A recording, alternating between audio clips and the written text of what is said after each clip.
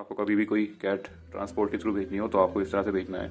जो बास्केट है, उसके चारों साइड इस तरह से, इधर से लेकर और इधर से, इस तरह से अंदर से लेकर नॉट्स बाँध लेना है।